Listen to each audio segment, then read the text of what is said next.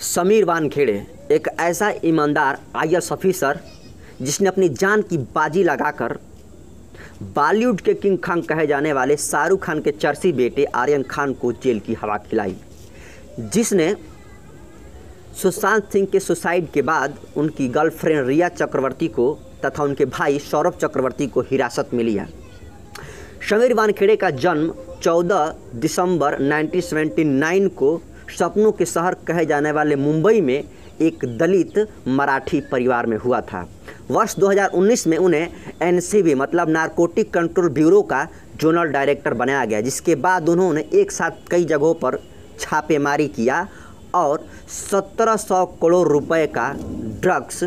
जब्त किया, जिसमें कई बड़ी हस्तियों से भी पूछताछ की गई, जिसमें अनुराग मिश्रा और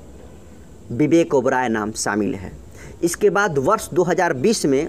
कपिल शर्मा के मशहूर कॉमेडियन कहे जाने वाली भारती सिंह तथा उनके पति को ड्रग्स मामले में गिरफ़्तार करके उनको जेल भेजने का, जिनको श्रेय प्राप्त है, वो समीर वान खेड़े है। आज जहाँ पूरे देश में समीर वान खेड़े की वाह वही और बड़ाई हो रही है तो वही दूसरे तरफ़ जो एनसीपी कांग्रेस को जो नेता हैं, नवाब मलिक, उन पर आरोप लगा रहे हैं कि लॉकडाउन में जहाँ सारे अभिनेता मालदीव घूमने के लिए गए थे तो वहीं दूसरी तरफ़ जो शमीर वानखेड़े हैं, वो भी उनके लिए गए थे पैसा वसूलने के लिए मालदीव। ये आरोप लगा रहे हैं कि जहाँ एक तरफ़ वो गए थे घूमने के लिए मालदीव सारे अभिनेता तो ये भी गए थे मालदीव घूमने के लिए और उनसे पैसा वसूलने के लिए कि आप हमें पैसा दीजिएगा, आप तो ड्रग्स मामले में आपको गिरफ़्तार नहीं करूँगा। तो इस हिसाब से एनसीपी एनसीपी नेता माम मलिक को मेरा जवाब ये रहेगा कि क्या मलिक जी, अगर शाहरुख खान के बेटे,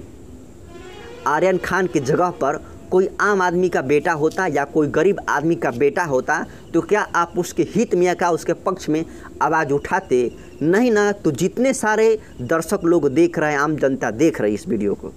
आज हम लोगों का ये दायित्व है कि समीर वानखेड़े जैसे ईमानदार ऑफिसर के साथ खड़े होने की ज़रूरत है और उनके साथ देने की ज़रूरत है। चाहे वो मंत्री का नेता हो, मंत्री का बेटा हो, या चाहे किसी भी अभिनेता का बेटा क्यों ना हो, उसे अगर कोई गलती किया है तो उसे सज़ा कानून रूप से मिलनी चाहिए, लेकिन ये तभी संभव है जब हमारे साथ शमीर वान खेड़े जैसे ईमानदार ऑफिसर्स होंगे। वैसे, अगर आप भी इनके समर्थन में हैं तो आप कमेंट में जय हिंद लिखना ना भूलिए। अगर आप हमारे चैनल दनिज पत्र पर पहली बार आए हैं तो चैनल को सब्सक्राइब कर लीजिए। बहुत बहुत शुक्रिया।